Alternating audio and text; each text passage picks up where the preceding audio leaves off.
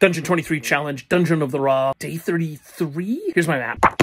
It's a temperate forest. So out in the forest, there's all kinds of monsters like werewolves and owl bears and treants and will-o'-the-wisps. There's even a coven of hags, and the coven of hags make all kinds of potions and elixirs and tonics, mainly healing stuff to keep the rest of the dungeon well. They also make curses for those who don't have the dungeon in their best interests. In that forest, there's also a swamp, so you get green dragons and things like that too. And of course, forest orcs, Robin Hood orcs. There's also a banshee that recently joined. Uh, she's not too sure about this whole thing, and well, she's had her whole life of being betrayed and betrayed and betrayed, so she's just waiting for somebody to take the opportunity to betray her again. Dungeon 23 Challenge, Dungeon of the Rah, February 2nd.